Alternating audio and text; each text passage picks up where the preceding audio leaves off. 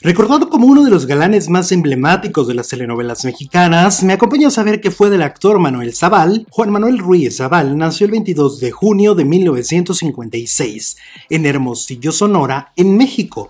Fue hijo de la actriz y cantante española radicada en nuestro país, Manolita Zaval, y del español Manuel Ruiz. Pero el matrimonio de sus padres duró muy pocos años y Manuel no volvió a saber de su papá. De su madre, el joven Manuel heredó el gusto por las artes desde muy pequeño, ya que siendo niño la acompañaba a sus presentaciones y a los foros de cine y de televisión donde la actriz trabajaba.